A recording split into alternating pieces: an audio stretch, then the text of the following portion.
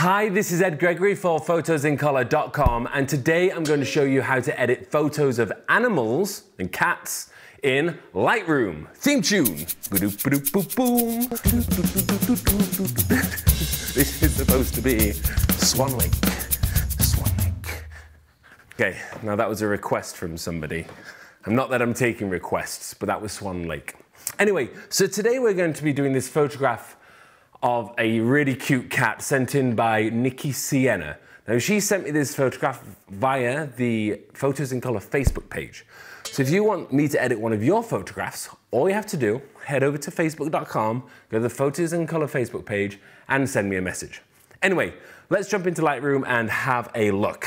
So here we go. This is the photograph. Let's have a look in the library module and have a look what this was taken on. So let's go down here to the metadata and it was taken on a 14 millimeter lens, f1, Fujifilm X-A2. Now, I don't know what a Fujifilm X-A2 is, but this is a 14 millimeter f1.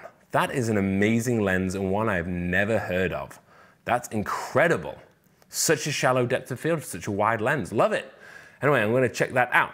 So let's look at the actual image here. Now, what is important here is it might be a cat but it's just a portrait image.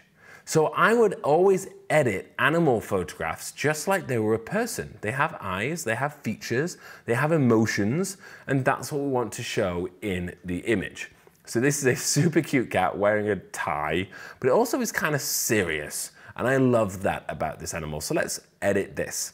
Now, the first thing that I would do is come over to the basic panel. What I would want to do is want to pull down the highlights and lift the shadows okay? Just a little bit, not too much. I'm actually gonna bring down the blacks though.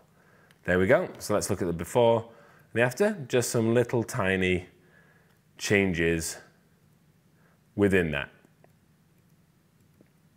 Okay, so the next thing that I would, ooh. okay, so the next thing that I would want to do with this is I'd work on the eyes just because it's like a person. So let's come across and look at the eyes. Now to edit the eyes, I would always, let's double click effect to reset everything. I boost the clarity about 25 and I also lift the exposure a little tiny bit. And with a pretty soft brush, again, not, not being too accurate with this, all I do is paint on the eyes. That's it. Let's go a little bit more actually. Okay, let's look at the before and the after. So you can see these eyes have kind of come to life a little bit. I'm gonna go a little bit more. Now I'm gonna add a new one, and this one I'm gonna keep my exposure high, but I'm gonna reset the clarity. And what I'm gonna do is I'm gonna paint these catch lights. So the whites are gonna go that little bit whiter, just here. And you see there's this little section here and here of this eye, which is kind of the catch lights. So now when we come out, okay, and we go before and after, we can see these eyes, essentially, it's like polishing the eyeball. It makes it really beautiful. And I love this. Right, what's the next thing that I would do? Well, because we've already got loads of fall off here, because it's an f1 lens, I think the focus of the image is really exciting. But what I would want to do, so this is something specific to animal photography, is I would come into the brush tool again, I'd reset everything, and what I would do is I boost the sharpness.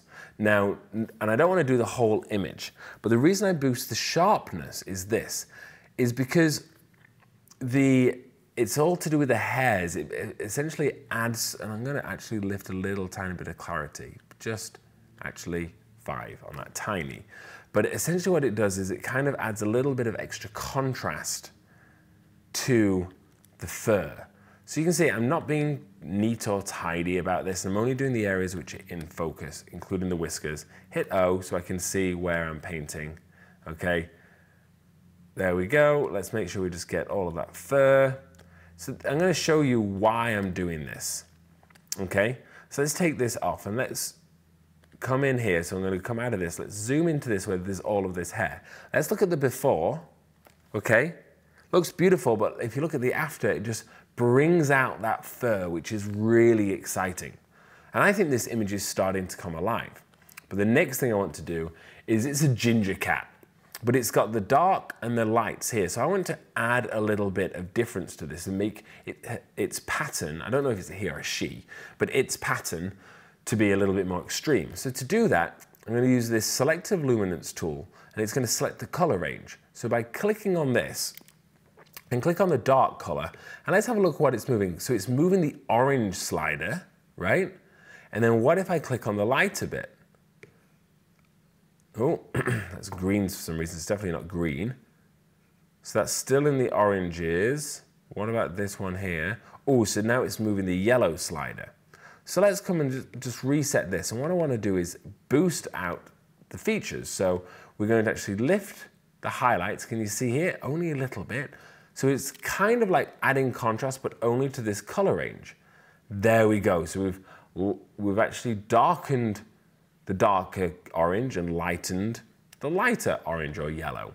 That looks great. Now what we're also going to do is I want to boost the saturation of the purple and the pink. So we're just gonna take on this little button here, go to the pink, and let's see what happens inside. So it's all in the magentas, and look at that. Just because it looks so cute. Now I'm gonna add a bit of a, a line so it's got a curve to it so it's not too dramatic. And just by doing that, essentially, you're reducing any artifacts that might happen. Oh, doesn't this cat look cute? So let's just go before and after, looking amazing. Now I'm gonna come into the radial filter and I'm gonna add a little bit of focus here. So I'm gonna essentially pull down the exposure and make sure invert is not selected. And so now what we've done is basically drawn in the focus to the cat's face because that's really where I want to be looking. And I'm also going to bring down the sharpness. I'm just going to give it a little bit more blur. Why not? But what you can see here is I've done it to the paws. So we'll also go brush, erase, and we'll just erase it from this section here. Okay, it's just going to bring out all of those elements. And then I'm going to add flow here, just reducing the flow and kind of add a bit of a fade out to that on these sections. Hit O so you can see where it is working and when it isn't. I don't want it on the ears because I don't want to lose the sharpness. The ears, great. So let's come out here. In fact, let's take it away from the edge of the face. There we go. That looks amazing. Okay, so the next thing I want to do is I want to come down here and I want to in the shadows, which is all this area, I want to go a little bit away from green and towards the pink, okay? Because what that's gonna do, oh, it just makes the cat look all pink and cute, which I love about this image. Now, the final thing I'm going to do here is I'm gonna add in a little bit of an S-curve. So you click in the middle and then you just drag the shadows down and that's automatically gonna push the highlights up. So let's go before, great image, after, Great. Now I think I've overdone these colors, the darkness of this color. I'm just gonna pull that back up. Oh, I like that a lot. And what I am gonna do is I'm gonna boost the vibrance and pull back the saturation. Here we go. Before, beautiful, cute, sweet image. After, dramatic, extra pink, extra, extra yellow. In fact, let's, let's make it a little bit more ginger. So all we're going to do is take the orange and go back and take the yellow and go back away from the green and then boost the saturate. that is just adorable. Before and after. That is how I would edit this picture of a cat in Lightroom. You could also use this edit for dogs or anything at all. Um, so if you liked this edit, please give me a thumbs up. If you've got any thoughts about how you might do it differently, then just give me a comment below and definitely subscribe to my channel because I've got loads more videos coming up. Anyway, this was Ed Gregory for photosincolor.com. Stay tuned again. Boom.